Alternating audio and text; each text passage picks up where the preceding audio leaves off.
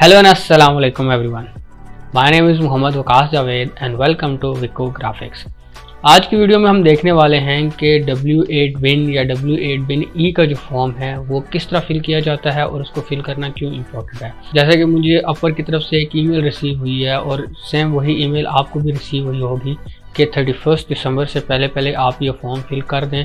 अगर आप फॉर्म नहीं फिल करेंगे तो जो यूएस में टैक्स के जो रूल्स हैं, वो आपकी अपर की अर्निंग के ऊपर भी अप्लाई होंगे और आपकी अर्निंग के अंदर से उतना पोर्शन डिडक्ट हो जाएगा। क्योंकि यूएस के अंदर जो लोग रहते हैं और अपर के ऊपर काम करते हैं या ऑनलाइन अर्निंग कर रहे हैं तो उसके ऊपर ट्वेंटी परसेंट थर्टी परसेंट या जिस तरह भी वहाँ के रूल्स हैं, उस लिहाज से टैक्स डिडक्ट होता है और उसके बाद जो है ना अर्निंग उनको मिलती है। तो अगर आप ये फॉर्म फिल नहीं करते थर्टी फ़र्स्ट दिसंबर तक तो आपकी जो आने वाली अर्निंग्स होंगी उनके ऊपर इफ़ेक्ट पड़ेगा। तो चले चलते हैं, मैं आपके सामने ये फॉर्म फिल करता हूँ ताकि आपको भी आइडिया हो जाए कि इस फॉर्म को फिल करने के लिए कौन कौन सी डिटेल्स की ज़रूरत पड़ती है। तो चलें वीडियो की तरफ़ चलते हैं।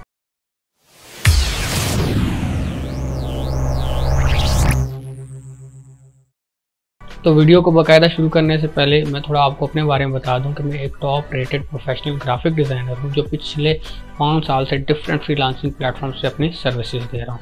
तो मैं अपने चैनल पे Fiverr Upwork freelancing online earning YouTube और इससे रिलेटेड टॉपिक्स पे वीडियोस बनाता रहता तो अगर आप इस तरह के कंटेंट में इंटरेस्टेड हैं तो आप मेरे चैनल को सब्सक्राइब कर लें ताकि आपको मेरी आने वाली वीडियोस टाइमली मिल सकें और आप उनसे फ़ायदा हासिल कर सकें। तो फॉर्म को फिल करने के लिए चलते हैं। ईमेल की तरफ़, जो अपर की तरफ़ से मुझे रिसीव हुई है और वहाँ से हम आगे प्रोसेस को स्टार्ट करते हैं। तो ये जिस तरह आप देख रहे हैं अपर की तरफ़ से मुझे एक ईमेल रिसीव हुई है। तो इसी तरह की ईमेल आपको भी रिसीव हुई होगी और इसमें यही लिखा हुआ है कि अगर ये फॉर्म आप थर्टी फ़र्स्ट दिसंबर तक नहीं फिल करते तो फिर क्या करेगा? अपवर्क ऑटोमेटिकली आपकी जो अपर की जो अर्निंग है, उसके अंदर से टैक्स डिडक्ट करना शुरू कर देगा। जितना टैक्स वो लोग, जो लोग यूएस में रह रहे हैं, उनकी अर्निंग से डिडक्ट करते हैं।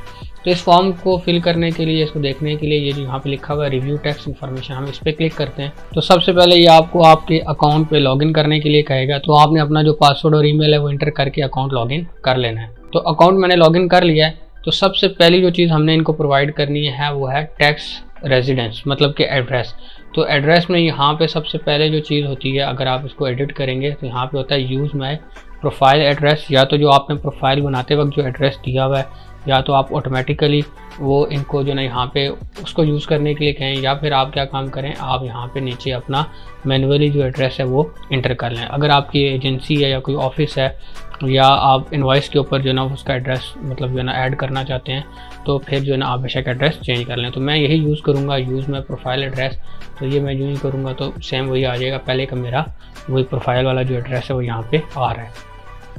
तो मैं इसको यहाँ पर सेव कर लूँगा तो इसको मैंने जो ही सेव किया, इसके बाद नेक्स्ट है डब्ल्यू एट तो इसके ऊपर मैं जब क्लिक करता हूँ तो इसमें फ़र्स्ट चीज़ है कि I am not a US person पहली चीज़ तो आपने इसके ऊपर सेलेक्ट करना है। सेकंड चीज़ है legal name of taxpayer तो ये सेम आपने वही लिखना है जो आपका अकाउंट के ऊपर है। तो वो मैंने यहाँ पे लिख दिया। इसके बाद है फेडरल टैक्स क्लासिफिकेशन तो इसको हम जब क्लिक करेंगे तो इसके अंदर अगर आपकी कंपनी है तो आप उससे रिलेटेड कर लें या अगर आप इंडिविजुअल हैं तो इंडिविजुअल कर लें। तो मेरी जिस तरह के इंडिविजुअल प्रोफ़ाइल है तो मैं इंडिविजुअल कर लूँगा। इसके बाद नेक्स्ट आती है यहाँ पे डेट ऑफ़ बर्थ तो डेट ऑफ़ बर्थ आपने अपनी यहाँ पे ऐड कर लेनी है। तो मैंने यहाँ पे अपनी डेट ऑफ़ बर्थ ऐड कर दी है, जो मेरे डॉक्यूमेंट्स के अंदर है, जो मेरे अकाउंट के अंदर मैंने दी हुई वही मैंने यहाँ पे ऐड कर लिया इसके बाद है कंट्री ऑफ़ सिटीज़न तो यहाँ पे मैं पाकिस्तान कर लूँगा, जो उसने मुझे ऑलरेडी जो है ना, वो यहाँ पे पी अगर मैं डालता हूँ तो तो ये पाकिस्तान आ गई तो मैं इसको यहाँ पे पाकिस्तान जो है ना ऐड कर लूँगा। अब इसके बाद इसकी जो, इसके अंदर जो थर्ड चीज़ है, वो है टेक्स्ट आइडेंटिफिकेशन नंबर वो हमने इसके अंदर ऐड करना है तो ये जो यहाँ राइट पे जो एडिट का ऑप्शन है, इसके अंदर कर लेंगे।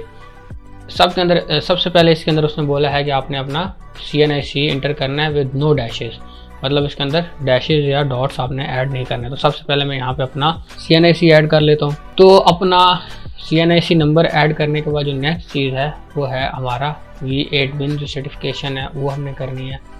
तो इसके अंदर इसके टर्म्स एंड कंडीशंस हैं। आप पहले इसको पढ़ लें। सेकंड है यहाँ पे signature type your full name same वही जो है ना, जो आपका नेम है, उसी को आपने यहाँ पे रीटाइप कर देना है, जो आपका प्रोफ़ाइल के ऊपर भी नेम है, या आपका जो फुल नेम है। उसके बाद आपने यहाँ पे सर्टिफाई के ऊपर जो है ना, वो चेक मार्क कर देना है। नेक्स्ट चीज़ है, यहाँ पे एफिडेविट है, ठीक है। इसके अंदर भी आपने उसी तरह ही नेम अपना लिख देना है, और आपने इसको भी सेव कर देना है। तो ये तीनों चीज़ें मैंने यहाँ पे सबमिट कर दी हैं। सबसे पहले इस मैंने आपको बताया था कि टैक्स रेजिडेंस सेकंड था डब्ल्यू एट बिन और उसके बाद था टैक्स आइडेंटिफिकेशन नंबर तो ये तीनों चीज़ें मैंने इनको सबमिट करा दी हैं और मेरी जो इन्फॉर्मेशन है वो उनको रिसीव हो गई है.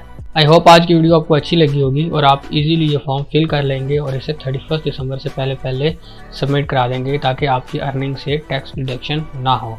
अगर आपको फिर भी कोई चीज़ समझ नहीं आ रही तो आप या तो कमेंट्स में मुझसे पूछ लें या फिर डायरेक्टली मेरे फेसबुक प्रोफ़ाइल या इंस्टाग्राम वीको ग्राफिक्स पे मुझे मैसेज करके मुझसे पूछ लें। मैं आपको जल्द से जल्द रिप्लाई करने की कोशिश करूँगा।